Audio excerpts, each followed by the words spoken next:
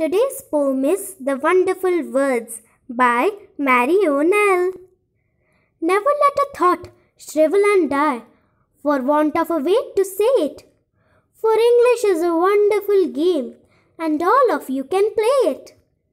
All that you do is match the words to the brightest thoughts in your head so that they come out clear and true and handsomely groomed and fed.